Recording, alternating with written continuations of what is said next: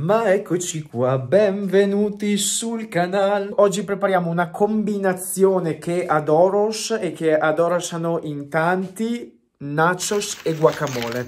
Proprio facciamo anche i nachos fatti in casa. Pensate già alla soddisfazione che avremo quando assaggeremo i nachos e diremo sì, questi qua li ho fatti io. Queste due preparazioni ovviamente sono perfette per proporre un aperitivo in casa. Io partirei già con la preparazione del nachos. Farina di mais precotta. In questa ricetta uso anche un po' di farina bianca che ci aiuterà a rendere più mm, malleabile e più facile da stendere il composto. Se siete intolleranti al glutine andrà benissimo la maizena o l'amido di mais. Un cucchiaino colmo di sale, due cucchiai di olio. Aggiungiamone poco alla volta.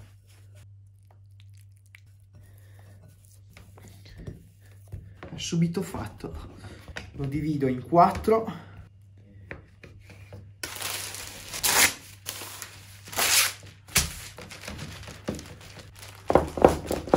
O metteteci tutto il peso che avete. Schiacciate un sacco deve essere veramente sottile.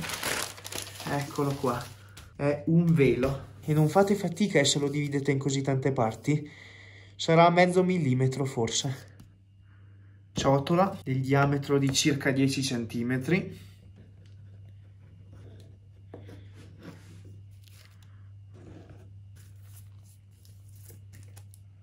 e poi dividiamo questi dischi in 8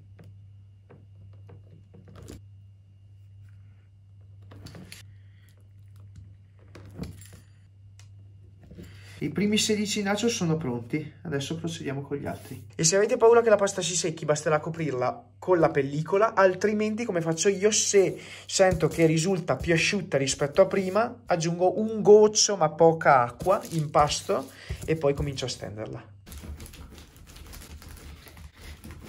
Tutto il peso, la pasta deve soffrire. Ok, molto bene. La cosa bella di questo impasto è che essendo con poco glutine, o addirittura senza glutine, se lo fate senza glutine, non si tira, non si ritira, non si... resta così, una volta che lo stendete resta così. E poi comunque non è tanto delicato, eh? io lo prendo così. Impasto perfetto, c'è poco da fare.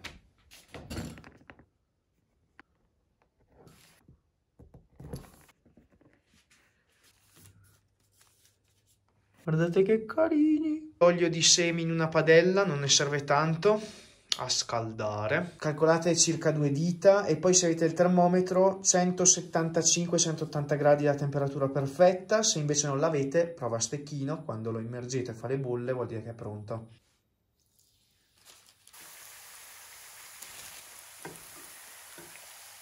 Perfetto. Una volta che risultano croccanti, lo sentite proprio con la spatola, sono pronti. L'importante è che non si dorino troppo.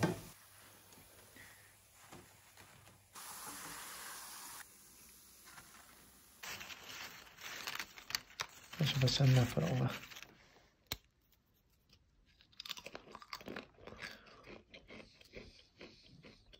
Sono belli croccanti, asciutti, cioè l'olio non lo vedete, eh? Forse sulla mia faccia c'è un po' d'olio, ma perché ho la faccia grassa? In ogni caso, siccome so che è una domanda abbastanza gettonata questa qua, potete anche cuocerli al forno. Vengono buoni comunque, risulteranno, ecco, meno ondeggiosi sicuramente, eh, però vengono bene. Basterà metterli su una placca, ci mettete sopra un filino di olio e acqua, proprio fate una, una um, miscela di acqua e olio, stessa quantità, in un bicchiere, in una ciotola, così spennellate questa miscela una a una su ogni, mm, su ogni nachos e carta forno ovviamente sulla teglia, i nachos ben disposti in modo regolare e li cuocete in forno a 200 gradi modalità statica per circa 7-8 minuti al massimo. Adesso con l'avocado facciamo la guacamole che è la sua morte. Pomodoro ramato e lo, anzi no, un attimino, con un coltellino, eh, vedi che è un po' impossibile, no no ce la faccio. Faccio una piccola croce qua su questa parte e lo tuffo per un minuto in acqua bollente. In questo modo sarà molto più facile rimuovere la pelle. Ora immergiamolo per qualche secondo in acqua fredda e poi lo possiamo sbucciare.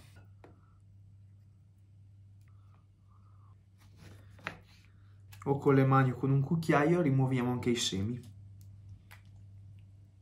e lo taglio a cubetti.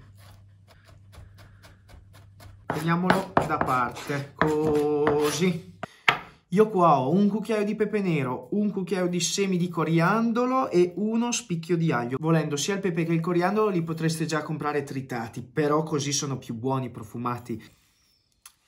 Li dobbiamo sminuzzare, io uso un cucchiaio, mi trovo sempre molto bene. Oppure potreste usare un batticarne o un pestello. Adesso che gli ho già dato una pestata grossolana prendo l'aglio, rimuovo come sempre l'anima, che è meglio toglierla? Tritatina qui sopra le spezie. Adesso ancora un po' con il cucchiaio. Vuoi fare la guacamole in un frullatore? La guacamole deve essere grossolana come salsa eh? avocado. Lo tagliamo a quadretti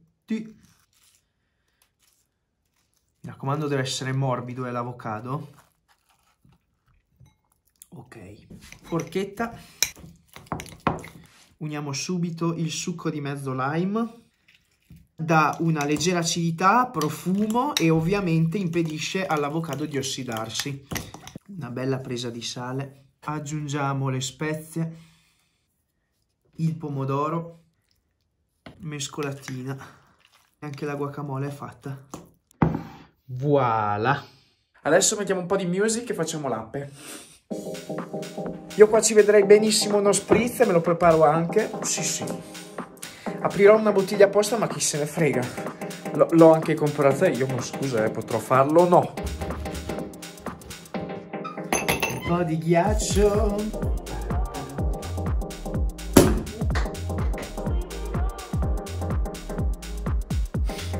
Un brindisi a voi.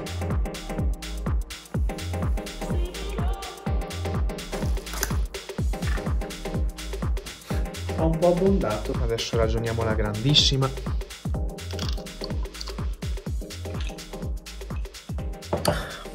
Non sono da solo eh, a bere, sono qua con voi. Sembro la D'Urso a dir così però. Aperitivo perfetto questo qua. Nachos, guacamole e spritz. A posto per me. Io sono a posto così. Replicateli questi qua, replicateli e, e, se li replicate io aspetto anche i tag su Instagram, lo sapete, ci vediamo là per altri contenuti di cucina e intrattenimento.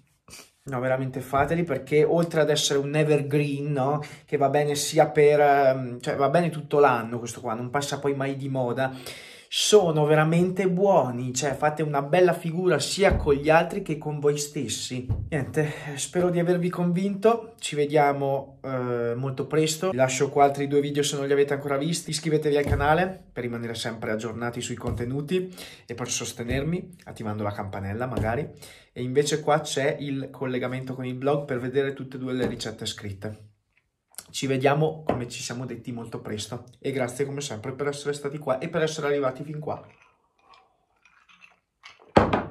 Bevo e mangio, ovviamente.